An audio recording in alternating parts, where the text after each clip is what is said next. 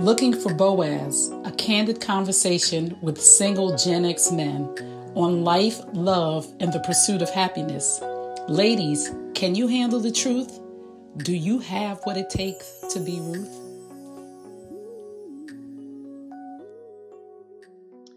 Welcome to Looking for Boaz. Let's welcome Tony to the show today. Hey, Tony. Hey, how you doing? I'm good. How you doing? I'm pretty good. I'm pretty good. Thank you. You good? You don't know. You don't know none of the questions. How you feel about that? hey, I'm here. I'm ready. Okay, so let's go. Let's get this thing popping. So let's go with question number one. Okay. Tell me a little bit about your relationship with your mother and your father. They were married for over 50 years. So, you know, I come from, you know, a, a nuclear family setting, so to speak. Mm-hmm. Um, yeah, there are 10 of us. Yeah and uh so i'm i'm very i'm very family oriented. I'm i was always very close with my mother. She passed away in 2018 um uh, my dad he's still here. I'm very close with him. Um but they always played two i guess different dynamic roles. But um for me personally i think the best thing about you know being raised by both of my parents was it showed me how a successful relationship can work and the sacrifices that you may have to make and you know i think it better prepared me for you know i guess adulthood my adulthood as a man trying to you know be a provider and and be the right type of person in a relationship. Oh i love that. Listen ladies he came from a two parent household. Remember, we always think black men all come from the streets. They ain't had a father in their life. So I just want people to understand the dynamic that mm-hmm. some black men did have their father in their life. Some black men have seen healthy marriages. Some, you know, right. and, and we have to break that that stereotype up that all black men from the streets didn't know their father, mother and father did this and did that. So he came from a two parent home. So this is going right. to be very interesting. What are your top three core values? In a woman? No, yours. Oh, just my well, um, one is definitely uh integrity. You know, I'm I'm I'm very, very big on integrity. Like, you know, you know, say what you mean, do what you say, you know, being trustworthy. So those types of things, you know, as a man, you know, my word is my bond anyway you know that's just how i was brought up. So i'm, I'm not from that school of you know just say whatever you got to say to just get what you want and keep it moving. No integrity is what's matter is, is what really matters. Um another thing is uh honesty. I mean they're related but honesty is a very big big big deal for me. Um like i, I it makes i almost feel sick when i'm around a, a liar like I really, that's something that I really detest. You know, I don't know. Maybe it's just because you know, you know. Once again, back to my parents. Like they were very honest. They were always been very honest. You know what I'm saying? I like to know what I'm dealing with from from the beginning. You know what I'm saying? And and I think it's kind of childish to just to lie. It doesn't really make sense. And um, what else? You said another core value is uh family. I'm I, I'm very very very big on family, on my my siblings, my my close friends, and especially my children. Like they're the most important thing for me. So I think you know when when when you, when I talk about family, I'm just talking about um just the togetherness, the nurturing, that type of of element. You know, mm. I'm very very protective of my family, and so you know I, I just feel that family is always going to come first, no matter what. And you know that's where i draw the basis of who i am. Okay. What is the biggest turnoff when it comes to a woman? Insecurity. Oh. And and that insecurity is usually displayed in the overt uh behavior that that where women they they tend to always be like i'm not listen i'm not disparaging anybody right now right but no, you're just speaking your truth. Okay. Well, as a man of a certain age, I'm I'm 49 years old. You know, I done I played around, I did everything I had to do, but I think it, it becomes very obvious when a woman is insecure and sometimes their behavior can translate as desperate by always seeking attention you know with the as far as the superficial things or objectifying yourself too much. Like me honestly it turns me off. Like even social media lately it just really turns me off because you can go on instagram facebook wherever it is and all you see are half naked women i mean every picture that a woman takes every selfie every video you know they got can i curse? Not not curse but they got their ass as the main character in every every selfie every picture and that's actually a turnoff. Like, like men, well, men like me, most men I know, we're not really. That's not really what we're looking for. I mean, unless you're looking for like a little side piece to just do whatever you're doing. But it's just that when you do that, it's kind of like displaying yourself like like a meat market almost. You know what I'm saying? And I think a lot of women they get so they get it confused where they think that um this sexual freedom and objectification of yourself somehow translates to to empowerment. And it doesn't. It, it really doesn't. And to many men like men like myself um who are secure in who they are and know who they are and want a woman who knows who she is it comes off as desperate and you know kind of pathetic Mm-mm-mm-mm. Tony come up in here stepping on people's toes, oh, stepping oh, on their stilettos, make people mad, stepping on their BBLs. Come on now. No, we're here because there is a miss with um, Gen X men and Gen X women. There's a miss with women between the ages of 42 and 57, mm-hmm. and men between the ages of 42 and 57. Relationships are not lasting. Um, men of that age are going to younger women, 35, 40 years old you know why I think sometimes too? I think a lot of times, like, listen, I always like older women, which is weird, right? And even as a 49 year old, I can't even see myself with anyone younger than honestly, probably like 45. You know, like I like grown women. You got to look like a grown woman.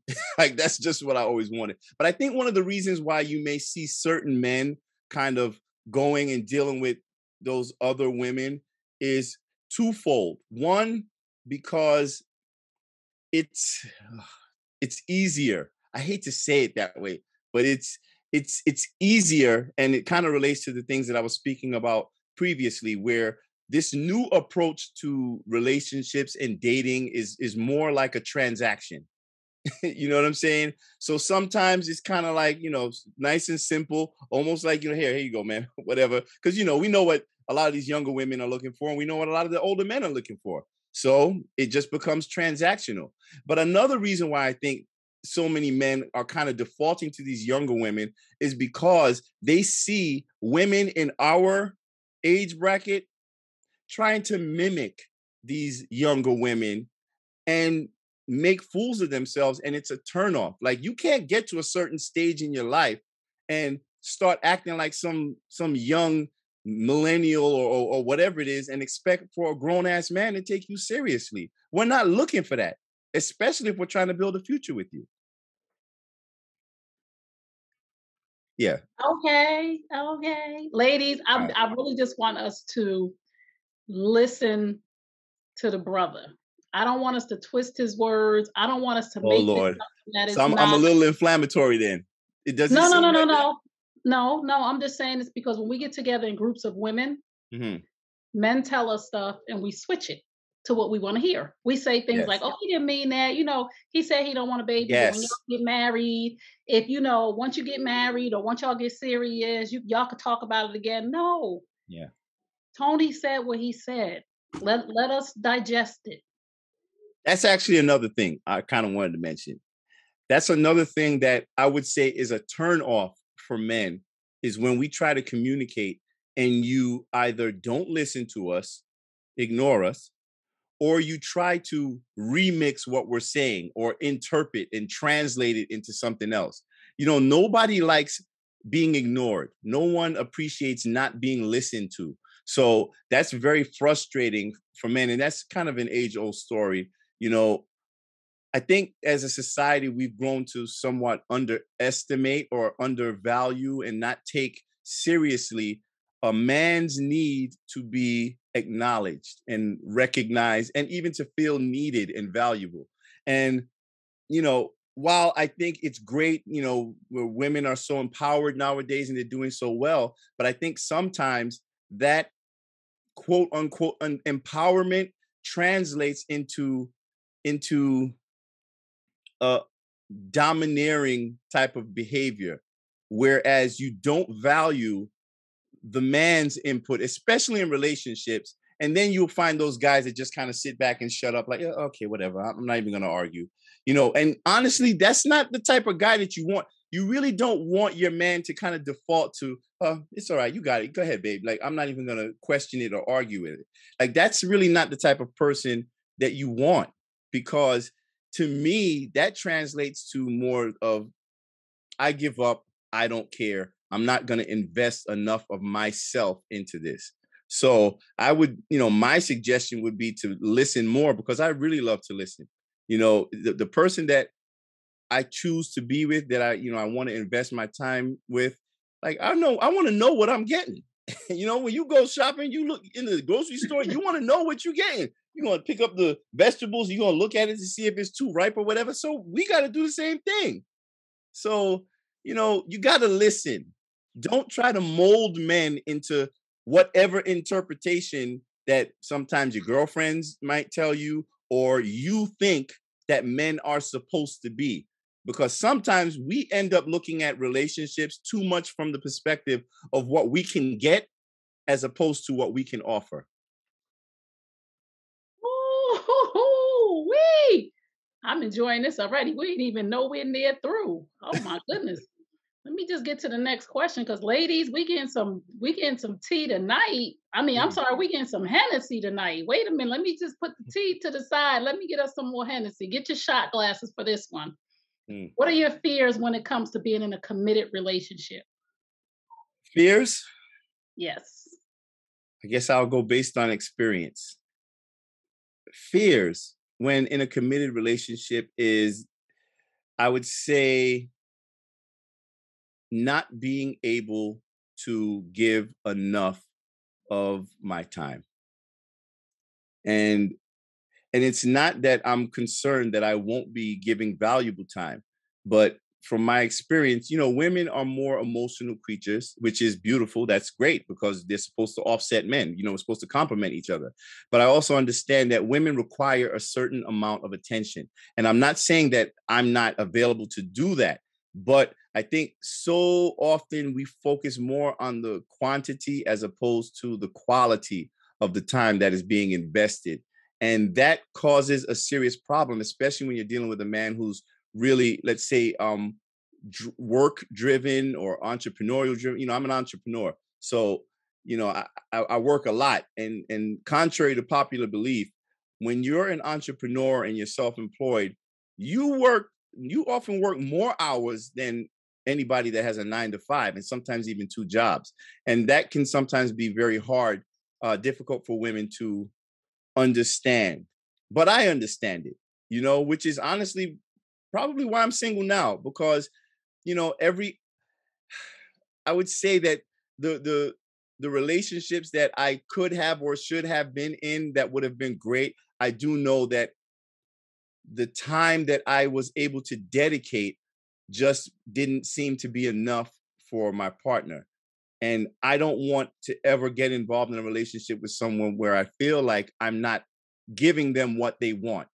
Now, even if I think what I'm giving you is, is sufficient and I and I'm seeing a bigger picture, I can't, you know what I'm saying? I, I can't, I don't want to hurt the person that I'm with, especially if they can't, if we're not on uh, seeing eye to eye anyway. And that's another thing I think we underestimate that sometimes people, you're just not going to see eye to eye with someone. And it's better to just kind of walk away and let it go without trying over and over and over to like to beat a dead horse and force a situation that just doesn't need to happen.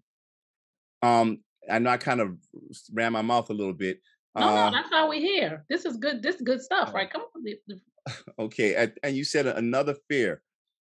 Um, another fear about you said for getting getting in a committed relationship entering a committed relationship what stops you We'll put like.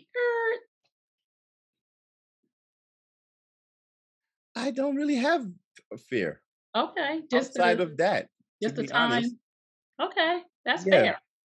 Yeah, and, and it's, it's probably because I think that it might sound corny, but I think that whenever you approach a, a, a new relationship, you should always approach it in in a more optimistic um manner because I think we're so overly cautious, and not to say that caution is bad, but sometimes when you're so overly overly cautious and hesitant, you find yourself not really giving everything that you're supposed to give to that relationship in order for that person to truly get to know you and understand you and know what they're getting. So then everybody's just kind of falling back and offering their representative. And then by the time, if you do make the decision to get with the person, you're meeting a stranger. And that's crazy. Wow, this is good. Um, let's talk about communication. What type of communicator are you? I'm oh boy. See, I I can say one thing. okay, when you say what type of communicator, do you mean like what you're talking about, like frequency? Like how do I communicate? Right, I mean, like text? you do you? I'm very open about my feelings. The way I'm, okay. I'm, yeah. Yep. I wear my heart on my sleeve, one thousand percent, and I'm not ashamed of it. I I I speak, I speak the truth as I know it.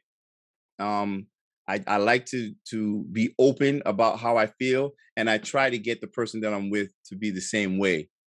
Because, like I said, you know, like I said earlier, like you really want to know the person that you're dealing with. This is the the time we're supposed to be taking advantage of this time right now when we're getting to know each other. So, you know, you, you got to be open. You got to be open and honest with each other. So, me, yes, I'm a very good communicator on how I feel but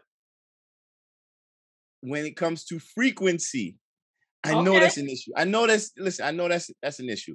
Because maybe it's because I like if I feel secure with the person I'm with. See, I'm not a jealous type at all. So, like, if I don't hear like, you know, say we're dating. Right. And I don't hear from you for like two days or three days. I'm not gonna panic and I'm not gonna be, well, why didn't you call me? What's going on? That's I don't have time. Come on, man.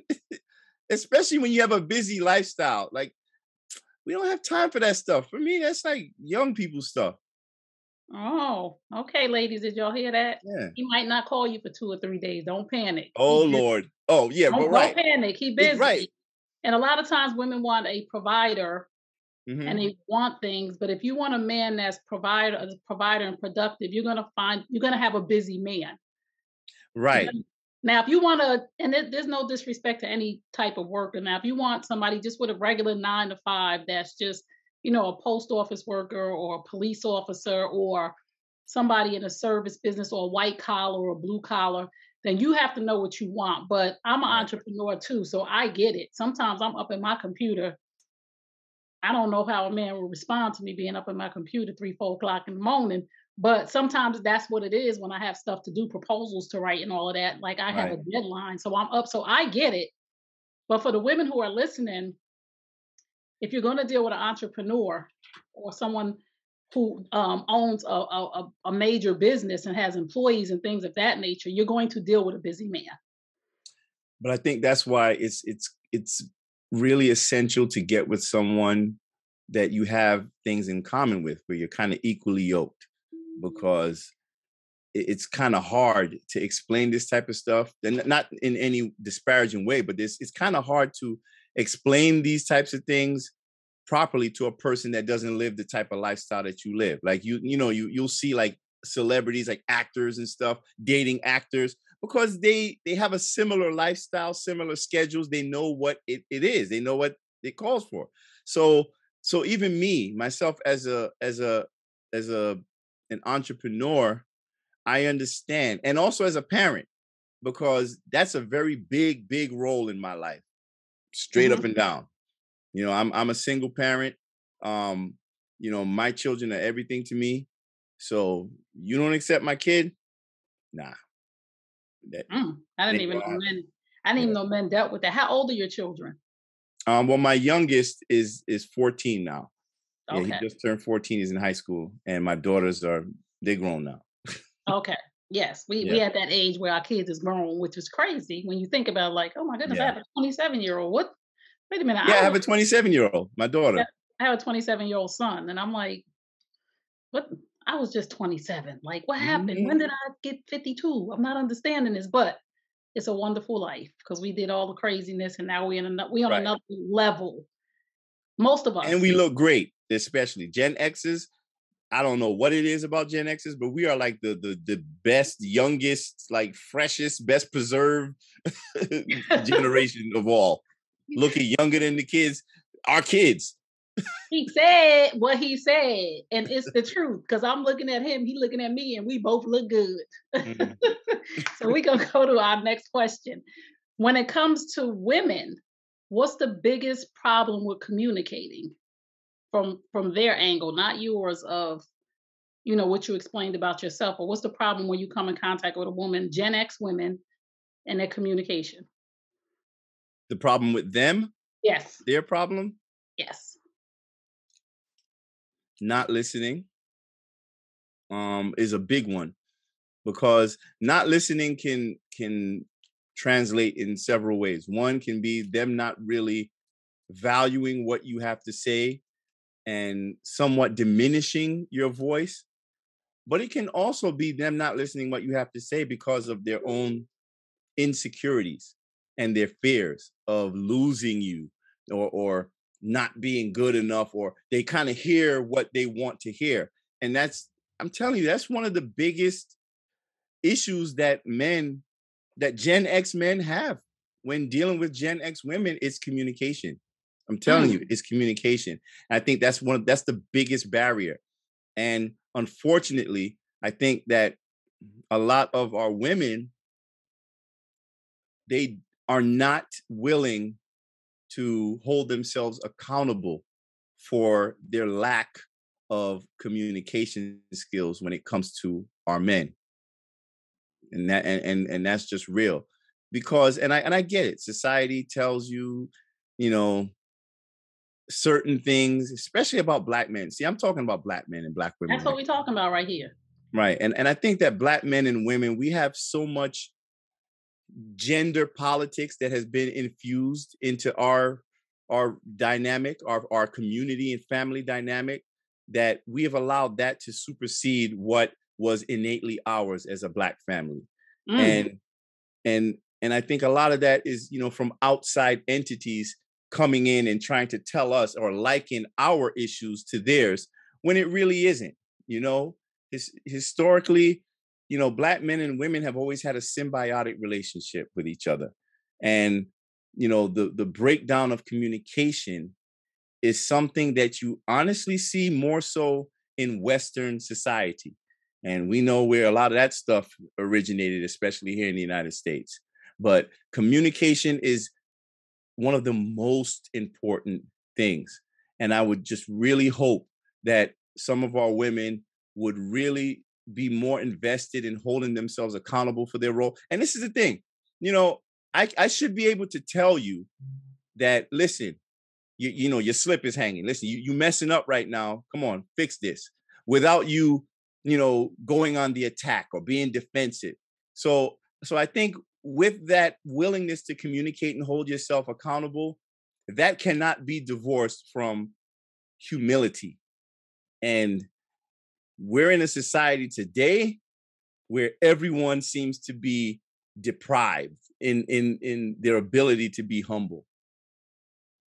Ooh, humility come on now we going into the we getting into the good stuff right now.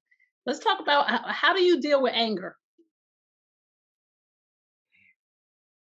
Um how do i deal with it? Uh for the longest time I held it in. But through life experiences, I realized how harmful that could be. But now I think, you know, whenever I'm angry, I like to talk.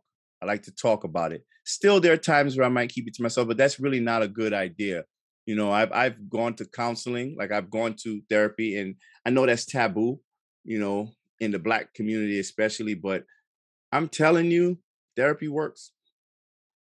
there, there's nothing to be ashamed of, you know, because therapy is really just someone for you to talk to, let it all out. You know, maybe the people that you're used to communicating with, they just, you know, they're not, they don't, they're not really the right types to listen or whatever. But therapy is more about you discovering you.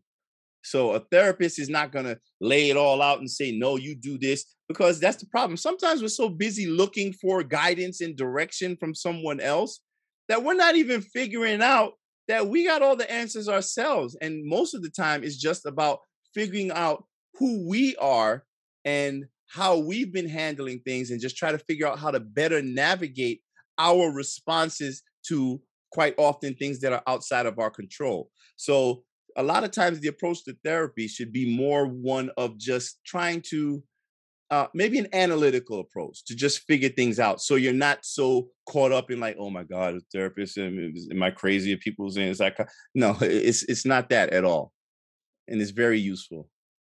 And it's more about self awareness.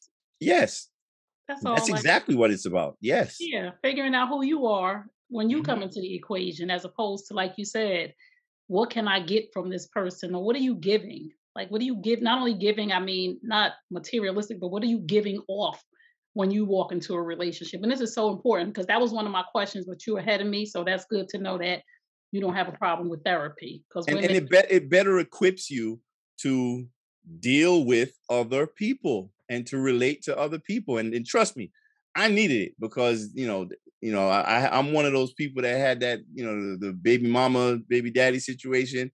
So I, I just volunteered to go and do it just in order to create to figure out how I could make things better for my son. Oh, that's grown, grown right there. Yeah.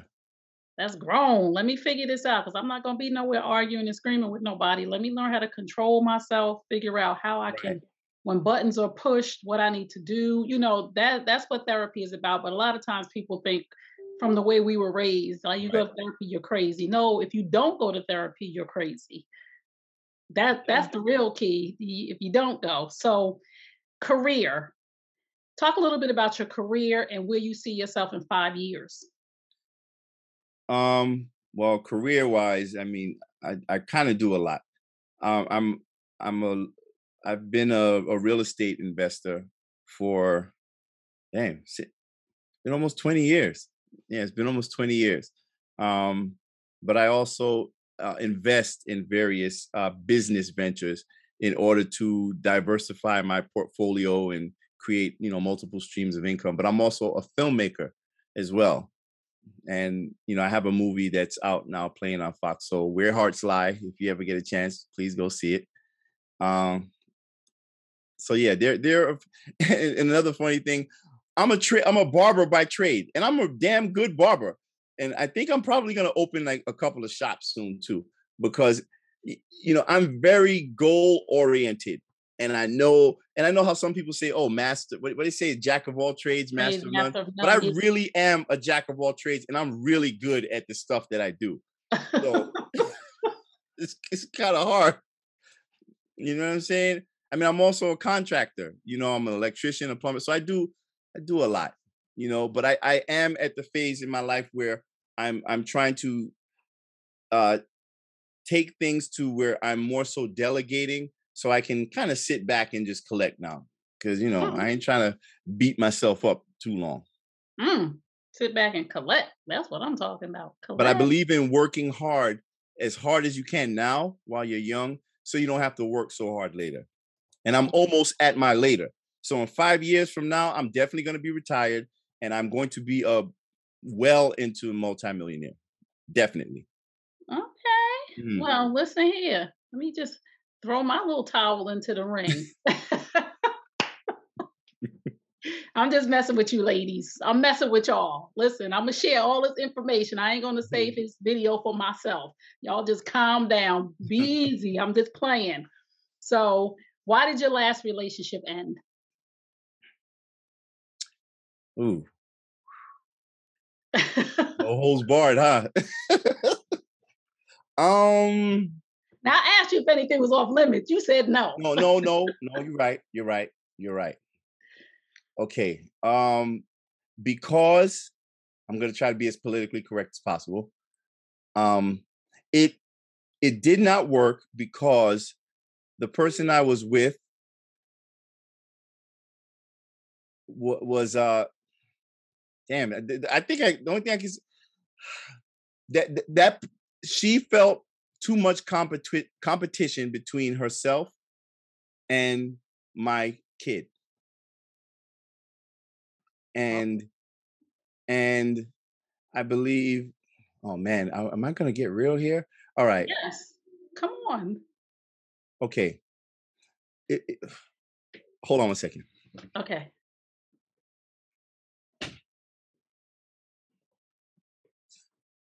Well the last like relationship relationship that i was in was with my my son's mom. And um everything was great honestly until he was born. And some people try to say you know maybe it was postpartum and things of that nature but i really don't believe that's what it was um but unfortunately you know and this is what i mean when you when i talk about two people you know, being unequally yoked. You know, I'm a certain type of person with a different, a certain type of background, and she is one that has a specific type of background. And maybe in her prior relationships, you know, physicality was okay. Not for me. You understand what I'm saying? Mm-hmm. And and sometimes it, it's it's sad to say, but sometimes some women they they want to keep a man so much that they're willing to do anything, including having children for that man, believing that giving birth to his child is going to guarantee that you guys are going to be together forever and ever. Now, now this is not in any way to talk about you know the man, but I want to say that that shouldn't be your reason for having a child to keep a man. And sooner or later, that will be revealed in the relationship and no one's going to be happy. You're not going to be happy. He's not going to be happy. And the child is not going to be happy. So, you know, that's probably, I think that'll be the best way I can say it. But I will say this if you watch my movie, I can tell you that it's it's largely based on my life, loosely based on my life, without really divulging too much. I, will probably have to say that. Oh, awesome!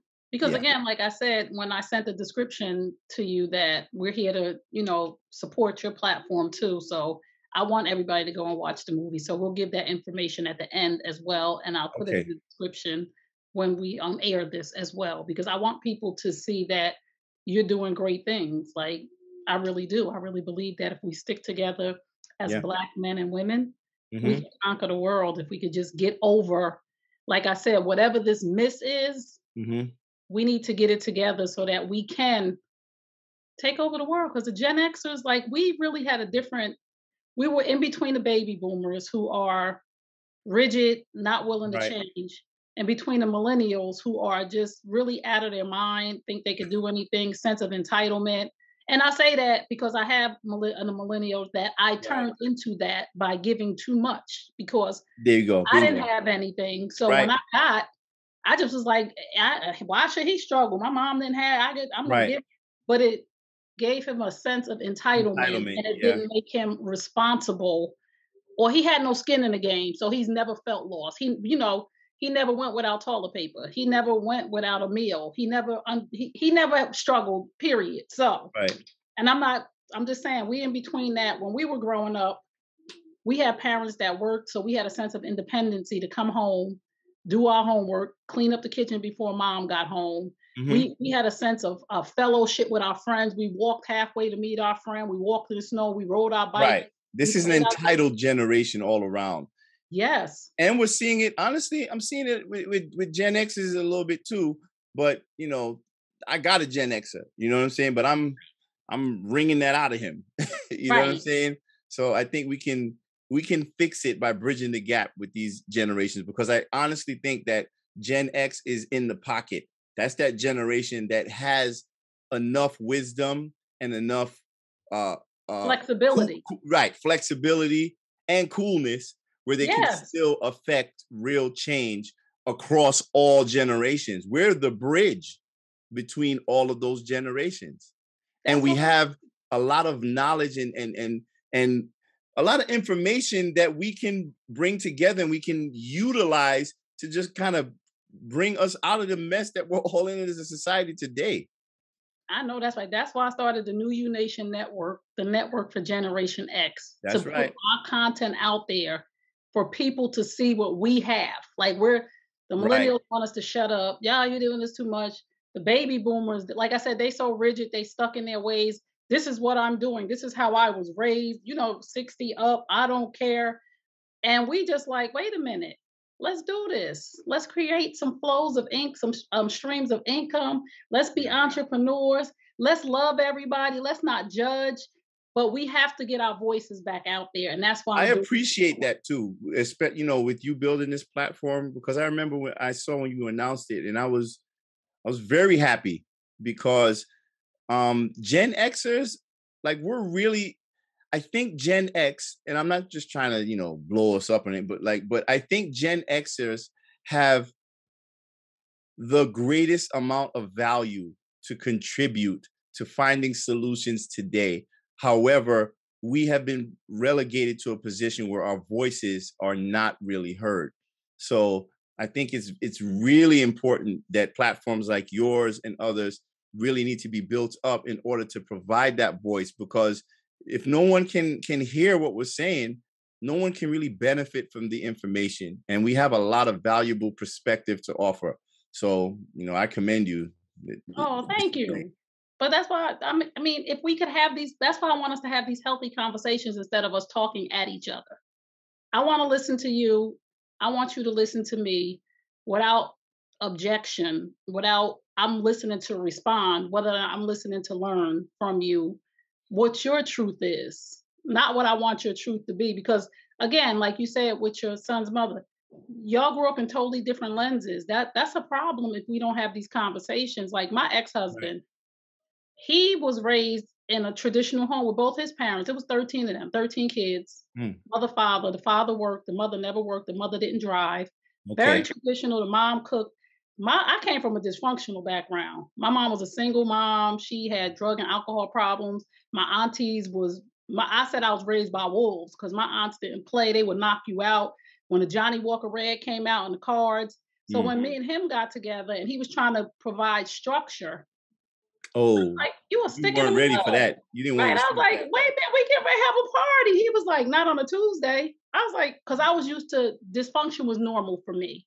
So right. we do have to make sure we are equally yoked. And if we're not, we have to make sure we have these hard conversations in yeah. order to see what I'm able to tolerate yeah. and what he was able to tolerate. Because we were we had we started a business which was very lucrative. And then we got a house with a pool. So I wanted everybody to come over in the pool. It's Wednesday Eve, Wednesday. He come home from work. He didn't work 17 hours because we had our own business. Right. He like people in the house. I mean, hot dogs on the grill. It's Wednesday, the middle of the. He like, can I talk to you for a minute? I'm like, yeah, what's up? He like, can't be doing this on Wednesdays, Tray. I'm like, we got a pool. So it caused some friction, and he was real lenient, but I just wasn't getting it. So our relationship ended because of me. I I committed adultery because he was working all the time. And again, I was immature. I didn't know how to articulate what I wanted. So there was a crack in our door. And when the man came along, I jumped on it. So that's how I began my platforms of explaining to people, you have to grow up. Hmm. Say, why and hold yourself cheat? accountable. Wow. That's yes. People say, why do people cheat? Cheat, Tray. I, I cheated because I was immature in communication. And anytime anybody cheats, it's because they're immature. Their excuse may be different. It might be money, it might be communication, it might be sex. But the reason why you go out on somebody in a relationship because you're immature, because you have the right to make a decision to walk away before you do something that you know you have. Thank you. Thank you. Listen, yes. And I literally did that. Like I was in a relationship with a person and I told her, listen, listen, like I was actually starting to develop like feelings for somebody else. And I didn't feel right. Like even right. being in a relationship, if like if I feel like I'm gonna cheat, because I'm not gonna cheat. So right. I just had to tell her, like, listen, I don't think that this is working because I would never want to disrespect you like that. And I just think, you know, we should move our separate ways. Not too many people are gonna say that. Not too many people are gonna step up and do that. But I would actually respect that even more, to be Yes. honest. You know, Yes. I rather know an, an inconvenient truth or, or, or a truth that hurts me than a lie that's gonna, you know, keep me happy and ignorant. Right. And that's what I say. Truth hurts, but lies damage. Right. You know, but with- unfortunately, we like to, you know, unfortunately in relationships today, we tend to prefer lies. a sugar coating. Just just as long as it makes us feel good, then that's it. We're, we're we'll just remain in a state of denial. And we got to get out of that denial and start to face reality so we can figure out how to make things like truly work. Yes, yes, but we're gonna get us there. That's why that's why we're here because these are the conversations that we Right. really need to be having without fear. Because what's for you is for you. So this next question, Mhm. you don't have to answer it. So far, everybody has. No pressure. Oh Lord. no. Here we go. Okay. How old were you when you lost your virginity? Oh. Oh, that's nice. I was I was 17. Okay. Mm, Yeah, I was 17. Okay. That's fair. Yeah. You know, why I asked that question because I think it's important for us to know when each person has lost their virginity. Because if I'm going to get into a relationship with you and you tell me you lost your virginity at 11, I need to know why because there was some trauma That's there. trauma. Because Right. no 11 year old should have lost their virginity or, you know, 12, whatever, you know, 15, 16, we like, you know, I start. we started girl, boys, they start liking each other, kissing each other, and we go, or 17, we at the prom. But I asked that question because I think it's relevant for us to ask each other those questions like, Tray, well, you know, how old were you when you lost your virginity? If I tell you I was 11, there, there's something that's going to show up if you don't know. Yeah. And if I haven't dealt with that, that's going to show Right. up in our relationship. So I Right. think there's some important questions that we need to ask each other. And I'm not just asking that question so we can laugh. There's, No, there's I, I agree. I mean, my movie actually deals with unresolved trauma, which I Oh. think is something that is a huge part of our relationship dynamic in the Black community. There's a lot of unresolved trauma, which leads to so much of the dysfunction that we see today. We don't Mhm. even have any idea. We don't even realize how something that happened when we were five, six years old can translate to the person that we are today in our 40s or 50s. Yes. If we have ignored it and buried it, Right. if it has not been resolved or dealt right. with. Yep. So when we Mhm. have these real conversations as 42 to 57 and beyond, we should be able to have conversations. And if you can't have, I- think that if I ask the person a question and we can't have that hard conversation now, then Mhm. we'll never be able to have it then. Right. So That's it- right. that's important for us.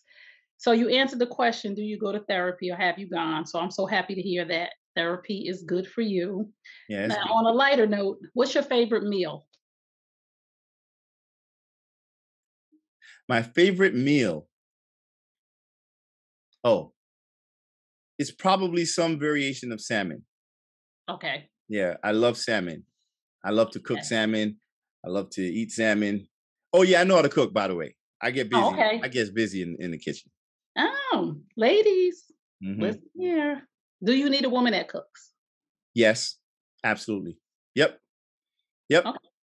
That's fair. What type of music do you listen to? R and B. I'm an R and B dude. I used to, you know, I used to sing R and B. I used to like work in the music industry, producing and and singing and stuff like that, and vocal arrangement. But I'm R and B.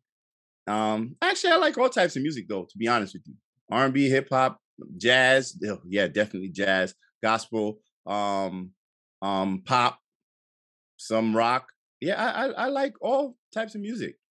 But Opera. R&B, but R&B is more your go-to. R and B is, I guess, my lane. Yeah, R and B is my lane. That it's always been my lane. But I'm a, I'm a musician first, so it's it's just about music. I just love music. yes. Very musical too. person. Yeah. Yeah. I'm just a very creative person, which is a whole nother level of craziness to a person who doesn't, who's not creative. Like, girl, you got too many ideas. Oh, trust me, I understand it. I understand. Yes, I'm like, I got another show. I got another. My friends be like, "Yo," I'd be like, "See, you don't understand. It's in my. I got to get it out of my head on paper." So and I used to write songs. So Oh, songs, poems, like uh, it's just a lot of creativity up upstairs. So that's why entertainment is my first love, like that's at right. everything. So Same, same. You know, yeah, so that's my default. I started writing song. Well, I started writing poetry. I draw, but you know, it was mostly like poetry. And then I was writing a book. I, I love to write, but when I was actually writing a book, and that's a friend of mine, she's a television producer, and she convinced me to translate the book to transform it into a screenplay, and that's how like the idea for my movie was born. Oh, I love it. Well, we got to talk after this because we we gonna do some stuff. Okay. Um, what do you do for fun? Um. Well, I'm in New York, and we're locked down, so you know, I mean, When the lockdown is over or before I mean. I, I like to do a lot of stuff. To be honest with you, like I, I, I okay, I like to be. I like simple things too, like going to the movies, like little lounge. But I love things like like like hanging out in the park, the beach. I love the beach. Like I like to go like jet skiing. I like uh parasailing. I like um. I just I like to do a lot of things.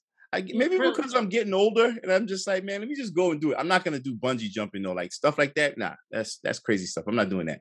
But Oh, I like to do things. I love to travel. That's probably my number one thing. I love to travel. I love going someplace new. I can go by myself, you know, whatever. But I just love to experience the world. Okay. What's what is your take on God? I believe in God.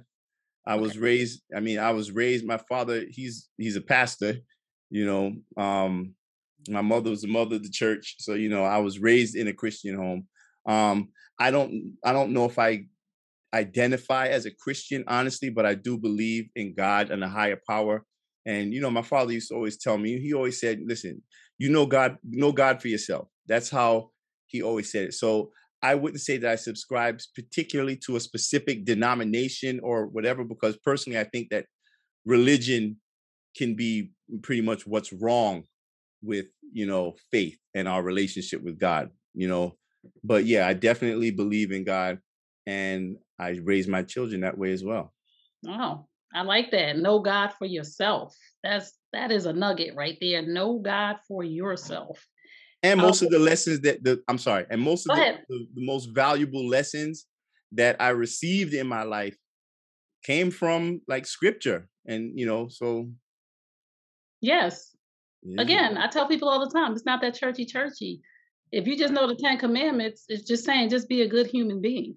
right, right, don't don't go kill nobody, right? Don't sleep with nobody's wife or husband. Like if you just it's just really like gives you boundaries as opposed to if we went out here and there was no stop signs, no traffic lights, right, we would all be crashing into each other. We need something right, to keep us in line morally to say, don't do that. right, Because right, we all know right from wrong. So that's all any religion really all have the same message of right.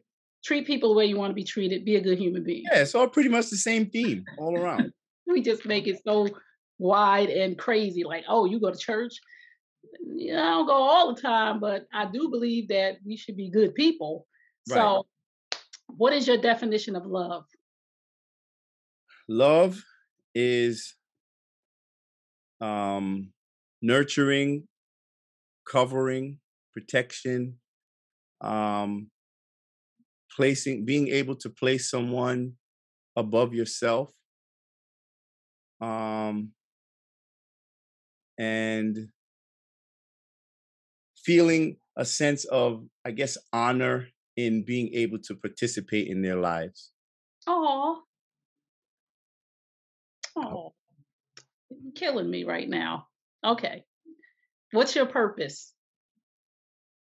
my purpose is to change the world.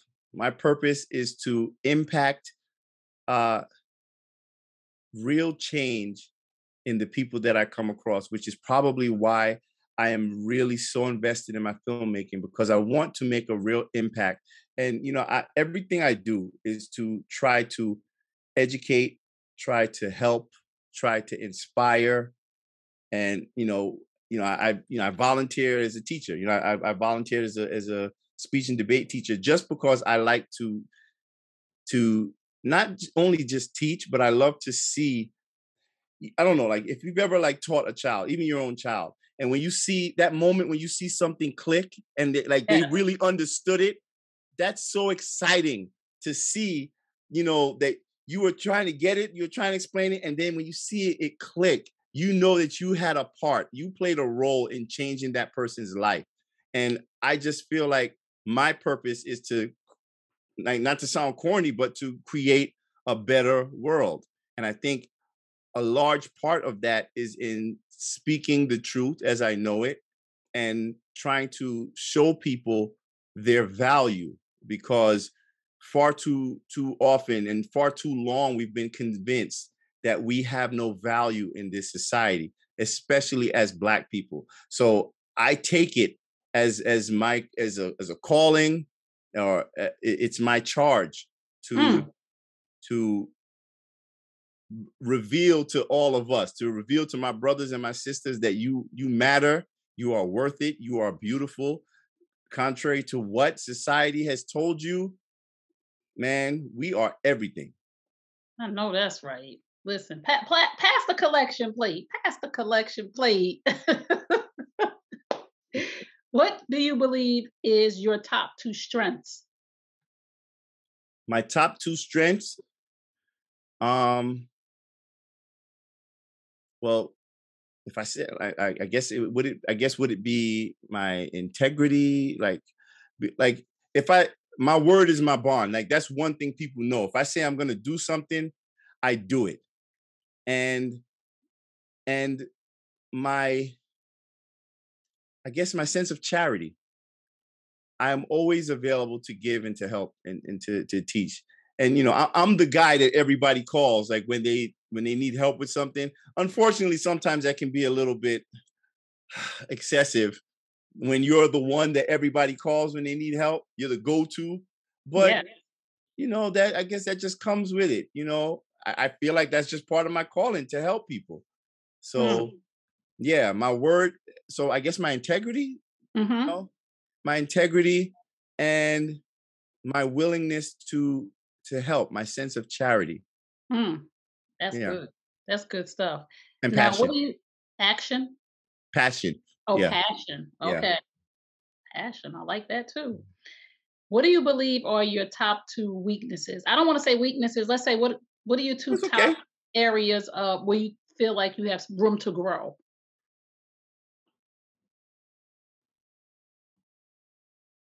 Hmm. Well, I think we all have room to no. Let me now. Let me fix that. Forget what we all do. Now I'm going to talk about myself. That's right. That's what we're here for. Where do I need to grow? Is admitting when I'm wrong. Mm. Okay. Cause, yeah, because sometimes when you're used to being right all the time, it's hard to admit when you're wrong. And I, I know that sounded bad. I know it sounded bad. and uh what's the other area? Um Ooh. forgiveness. Oh. I'm still a work in progress on that. And you know, before my mother died, you know, I, I got a lot better just from my mother. You know, before she died, you know, I was going through some real serious stuff with my son's mother. And I'm talking about it was bad. Mm-hmm. And my mother said to me, actually, both my parents, they were so good at it. My mother, she said, Tony, um, you know, forgiveness it has nothing to do with her and everything to do with you.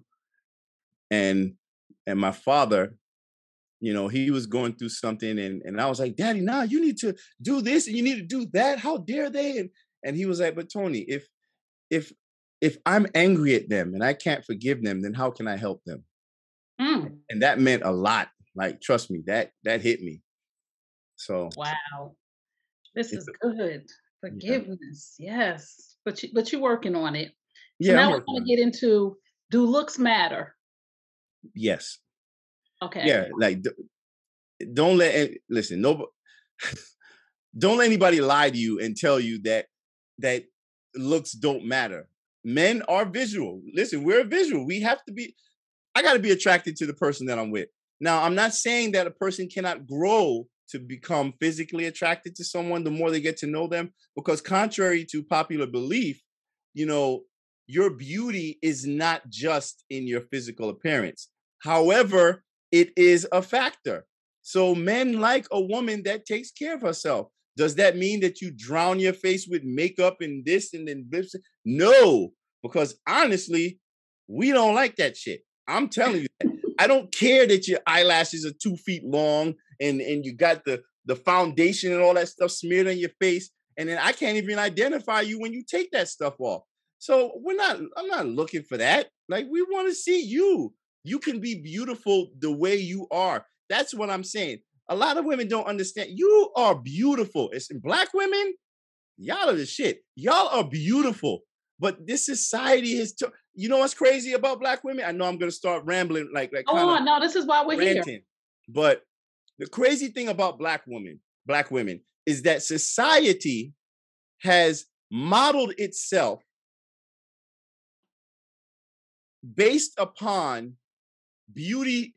They've based their beauty standards today on black women. Right. Now, historically, the standard for beauty has always been a Euro, Eurocentric standard. However, even within those Eurocentric standards, you would see um, them caricaturizing themselves to mimic black women. You, you ever see how the white European like they had the, the dresses with the big butts and this yep. and? There's always been this this this um fetishizing of black women. But when it comes to beauty, make no mistake, black women, it's all about you. So what disturbs me today, and a lot of brothers that I talk to about this, is that today's black women are mimicking white women who are mimicking black women. You're injecting yourselves and and and doing all types of stuff and and dolling up yourself. You're doing all of this shit to look like white women who are trying to look like you. That's insanity to me. You're the default in beauty, black women. And I know a lot of y'all don't like to hear that. Listen, when you have your little gray hairs, I love it. A lot of guys, we love it because just like how you say sometimes like grays can be distinguishing in, in men, it's the same for women. You know what I'm saying? Also, like your here. Now, let me not get too crazy because then I know I'm gonna offend people. Now, nah, I'm just gonna tell you the truth. No, you, you, go ahead, tell the truth. Tell, tell the truth. Listen, I get it. You know, y'all like to do this stuff with your hair and the wigs and the this, that, and the other. But personally, I'll just say me personally. Yes. I prefer a natural beauty in a woman. Does it mean that when I see a woman dolled up and all of that other stuff that I won't find it attraction attractive? It doesn't mean that at all. But here's the difference. A lot of the men, because whenever I, I say this to women, you know, you don't need to do all of this and that. They say, well, yeah, but y'all like that when you see that these women, they wearing all of that, but y'all still liking their pictures on Instagram and you want those. But yeah, that's for sex. That's a plaything. Grown men like me, we're not looking for a plaything. Mm. So we don't want that to be, we don't want a wife that's looking like an Instagram dot or whatever. That's not what we want you know and listen we like i said men are visual creatures yes we know that so you don't know what a man like some men like skinny women some men like thick women some you know whatever so you can't really control that all you can control is how you take care of yourself you're well groomed you you you you know you take care of your skin you know what men like they like nice skin they like a woman who takes some care of her of her her weight. I'm being honest with you. Yes. Society teaches women today that they should glorify obesity, and I don't agree with that. I don't agree with that. Black women, y'all have beautiful curves. That's right. Mm, love it. But it doesn't, it shouldn't serve as an excuse to not take care of yourself. So, you know, men just like to see a woman who is com- uh, confidence. Confidence is another thing that that attracts us to you that's that's one of the biggest factors. I spoke about it earlier.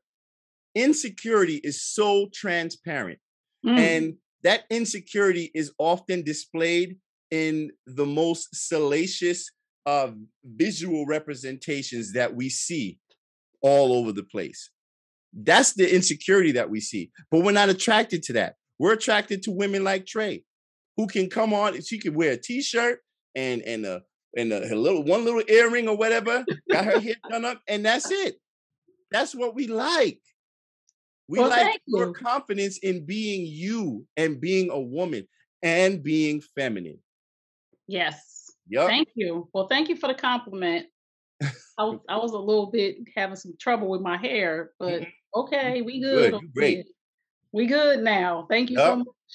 How engaged are you in sports? Um, I mean like watching football and and well, I, I stopped looking at football ever since the the Kaepernick thing, but you know I stuck to that. Like, if I say I'm gonna do something, I do it. So oh, that's right. I look at some people crazy, like, wasn't y'all just boycotting that the other day? but me, I, am just too busy. Honestly, okay. I'm too busy. So I'm not like a, a heavy sports head and none of that stuff.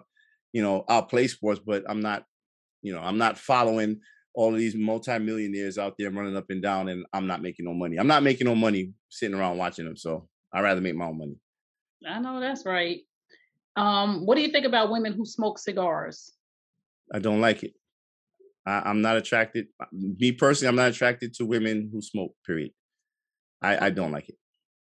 Anything, cigarettes, weed, cigars. Cigars, they they ugh, they smell weird. Oh, you smoke cigars. No, oh, oh, oh, okay. Cigars. Mm-mm. I yeah, but cigar uh, two or three times, and when I tell you I got gravely ill, I mean throwing up. But I don't understand the appeal of cigars. What is the appeal of cigars? I think status that, thing. I think well now what I think is um it's trendy, and I know that women are going there because they know men are there. Men are doing it right? And I had a, a friend of mine who smoked cigars, and he said, you know, men can't have nothing. You know, we go to the cigar bar to chill. To so our lady is okay with us being somewhere with the brothers smoking a cigar. Now all of a sudden, no, you're right. Music in the cigar bar. They, you know, the women they having ladies' night in a cigar bar, and and, he, and a lot of women seem to think that that's gonna bring you closer to these men but that's really not happening because a lot of them take it as you're invading their spaces. And I know like a lot of women are into football and basketball, but, but for a lot of guys, a lot of guys look at that as just generic. Like, you know, there are some women who are really into the sports. Yes. You know and what I'm saying? Cigars. But but there are a lot of women who just do it just to, you know, be down with the guys and to be cool. So I just think sometimes it's a little too transparent. And men, we like our space. You know, we're deprived of it too often. we like to have our space. It doesn't mean we don't want to be with you, but we like to have our space. So let the man have his space and his time. And I think that's a love language for men, being able to give them their space. Because we we're like like you said, we're emotional and not all of us. Some women don't some women are not touchy and you know want to have that space, but a lot of us or why you got to go out or where you going or I want to go with you or and it's like I believe that one of the love languages for men is a, a certain amount of space that they require to yeah. to keep their identity. Because right. I'm not just your man. Sometimes you just need to decompress. Right. No, no matter what. Listen, life could be great. You know, you can wonderful, but a man still needs that time to just decompress. I'm sure you ladies need that too. You probably oh, yeah. find other. You know, other we ways. go on girls trips, but when if a, but that's the difference. We go on girl trips, but if a man says that, we think it's suspect. Like mm-hmm. they're going to sleep with women. Like right. It, we going on a fishing trip. What's fishing where? Like we, our mind, and again, from our experiences of being hurt, and I try to teach the women that I coach that experiences are to teach us or for us right. to learn a lesson, not to and don't drag it into the next relationship and base right. those relationships on that previous trauma because all you're going to do is destroy that relationship and you're not even going to understand why. Right, because you're like, oh, the last man I was with, he went fishing. They was they was actually out going to see girls. Now this man really fishing. Yeah. And you you blowing up his phone, you acting crazy. He like, what is going on? Because you had an experience with somebody else that was only supposed yes. to teach you that that wasn't the person for you. It wasn't supposed to mold you into your dating pattern. So I, I try to help the sisters out. What is your dream vacation? My dream vacation? Mm-hmm. It has to involve a beach and just me being on that beach. Oh. Nobody with me. Oh. My dream vacation is not a romantic vacation. My dream vacation is for me to be able to get away from the rest of the world and be on a nice, be- beautiful beach and have my and just have like my laptop or my pen and pad and I'm writing a screenplay. I'm finishing. I just need time. I need peace and quiet and time. You know, everything is just so busy, busy, busy. And we just don't get rest, especially as an entrepreneur. It's very difficult to just take a break. And I always say sometimes you got to step away in order to come back, you know, and it's been a long time since I had a vacation. So for me, it's kind of like my dream vacation is to actually have a vacation. well, but we're gonna get you there. I'm gonna hold you accountable to that. Like yeah, after so. this after this pandemic, because that right. put a little that put a little damper on some things too, because it's a whole just going through the airport and all that. It's just crazy. Just stay home. Mm-hmm. Um, what does your wife or the woman that you're with have to contribute, contribute, or bring to the table? She has to know how to cook. She has to be cooperative because that's something that it seems a little far eh, far in between now, like getting cooperation from the woman that you're with. And eh, cooperation doesn't mean that I'm in charge and I, I call all the shots. But cooperation, we don't want to always be at battle. We don't always want everything to be an adversarial relationship. You know, cooperation, you know, support. You know, let's let's not let's not fight right now. You know what I'm saying? What else do I need? I need I need a woman. Wait, you said what? Yeah, I would like a woman who is goal oriented as myself. Now, I know a lot of people have these like these financial, these monetary requirements, but that's not really something that I I really have like that. I mean, I would as long as a woman is is like she's believes in working hard or whatever, whether she works hard eh, uh, as a business owner, whether she works hard at her job, whether she works hard as a mother or stay at home mom, just someone that has that that work ethic. That's what I'm talking about. Um, and she has to be like a, a good mother. Got to be a good mother. Okay, that's mm-hmm. okay. What do you think about prenups? Nowadays,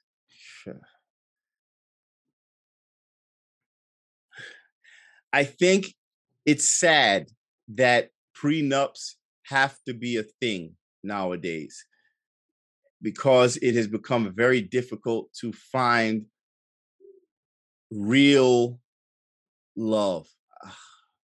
And we're in such a materialistic world now and all the messaging is you know i put up a post today on facebook and it said that unfortunately men many women today don't want a husband they want a sponsor and that caused a big stir people cursing me out here and there people agreeing but everybody's in there arguing and fighting but that's that's the that's that's where we are today in society.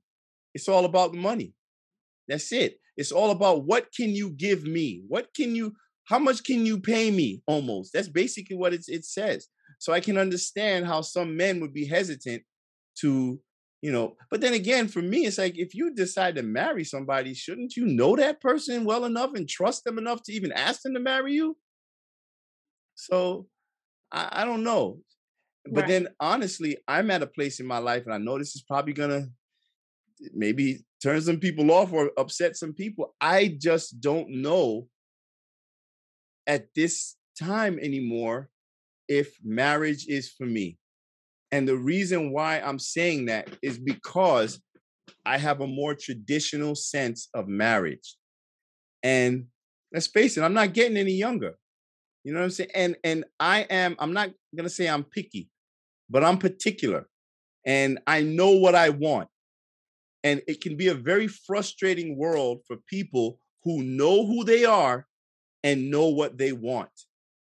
And mm-hmm. I understand that we're all going to make certain compromises when we get into a relationship with someone, but you don't want to compromise to get into a relationship with someone. And that's where I found myself as of late, where if I want to get in a relationship with somebody, I'm going to have to compromise a lot of my desires and and who I am and just like I don't want to make you unhappy, I don't want to make myself unhappy. Especially with a 14 year old who's going to be an adult in a few years, and then it's going to be just me. right. Yeah. That's that's good stuff. I always ask about the prenup because I just think like if I have to, even if I'm the one and I'm I'm the woman and I'm a billionaire, if I have to ask a man for a prenup, I've already seen something that I don't trust. Exactly. So why am I marrying you? If I if I'm preparing for whatever you're going to do. Right, you're preparing for the divorce. Right. So, so I'm why, like, why are you even getting married if you're setting up for the divorce? Right. So that was, you know, I asked this question. Maybe that, that should be just a, a, a part of the whole contract of marriage. So that way it's not even in your hands. I mean, you know what I'm saying? So that it's just a condition of the contract of marriage that there's a prenuptial arrangement. I, I don't know, but right, for right, me, maybe that is it. Maybe maybe that eh, because if if it if it comes to me and, and me and you were together, and you asked me to sign a prenup. I don't. I don't. We're not getting married. Right. I don't want to marry you because you don't trust me. So you want a prenup for what? What do you think I'm going to rob you? Like at the end of the day, I must have shown you something in the content of my character that will make you think that you couldn't True. trust me. True. You're right. You know what? You're right.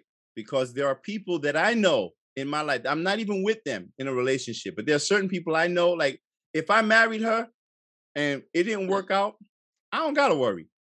You know right. what I'm saying? And what's so sad is that the best people for us sometimes we're just not on that type of vibe with them. Like they're my our friends, or right. saying because the right. best I know I'm not attracted to them or I'm not, you know, romantically involved with them.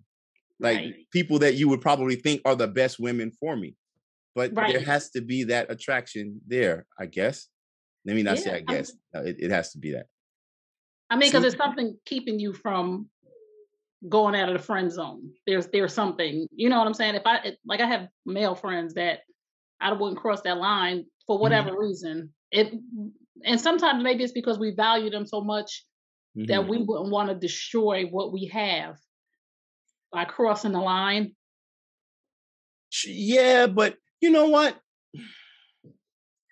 No, I don't think there are certain people, I don't know, like in life, there are maybe two or three people you might come across in life, maybe, where you know that those people, they are your 1000% ride or die, whether you are married, whether you're in a relationship or not. You know what I'm saying? Right. And, you know, one of my closest friends used to be my girlfriend. Oh, okay. And I think that's another telltale. It's too bad that you find out how perfect this person is for you after the relationship doesn't work. Wow. yeah. Well, well there's no circle back. Okay. that's that's a whole nother show. yeah, that's a whole nother show. Yeah. About to make up a whole nother, I'm about to go to a whole see how my creative mind just went back. I had a whole show in my head called Circle Back. Is we circle mm. back, moving forward. See, this that's my I told you my creative mind just heard and saw this whole show. All right, you here right now. right here, right now. And you don't want to circle back just because you feel like your options have expired. Woo! Because that wouldn't really do them justice either, you know? Oh, oh, we. See, now you're going somewhere, Tony. Stay here with me. We are, we are looking for Boaz. We ain't on the circle back oh, Right, right, right. We're gonna talk about that on the back end when we finish here, but because that's okay. that's good. So now I'm going to. Oh, what is the biggest struggle with Generation X women? The biggest struggle meaning when trying to date or being in a relationship with Generation X woman. Dealing with insecurity, jealousy. Oh. hmm Yeah. Yeah, insecurity is probably the biggest struggle. And I understand, you know, because you know, when we reach a certain age as a woman, things start to change.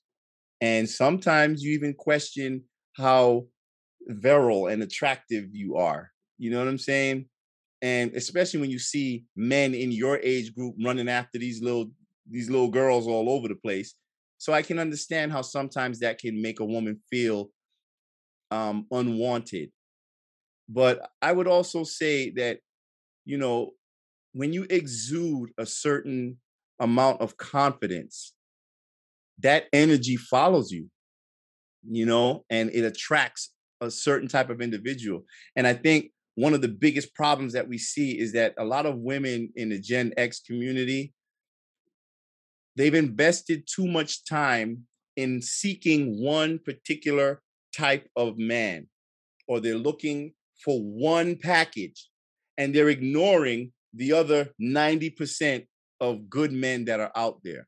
And we don't realize how much we how much we how we can find exactly what we're looking for in just something that we never thought that we'd even be attracted to. We're not even giving people the opportunity because we're gauging our preferences based upon something that is honestly fed to us by the, the main the media, entertainment, society. And there's a lot of good men that are being overlooked that could provide you with a beautiful life. And you're just robbing yourself because you're still stuck chasing after that that man who you're trying to fix or who doesn't exist. And you're you're crying over this spilled milk of oh this this guy they're going over there these men but what type of men are going over there? Who are these men? Why do you want to be with a man who's chasing after a 26 year old woman anyway? He's a grown-ass man. Ooh. that's not somebody that you need to be looking into anyway. So I think it has a lot to do with the choices that we make. And, you know, and since we're talking about our women, the choices that you made that led you to where you are, where you're still looking at relationships through the same lens and denying yourself the opportunity to really see all the myriad of options that are still out there for you that you can really find happiness in. Wow. Ladies, I think that we have been schooled today. I think we've been, I think Tony then dropped the hammer on some of our toes. So I'm gonna give you five words, and I just want you to tell me what they mean to you. Okay. It could be a one word answer, or it could be a sentence or a paragraph. Uh, wealth. Wealth. Security. Mm-hmm. Home. Family money evil. Legacy. Community children uh changing the world. Yes. And the last one is life. My kids. I love it Thank you so much, Tony, for being here with me. I really enjoyed this candid conversation about life, love, and the pursuit of happiness. Um, you are tuned into looking for Boaz. And the real question, my sisters, is are you ready to be Ruth? Thank you for tuning in. We'll see you next time. Peace and blessings.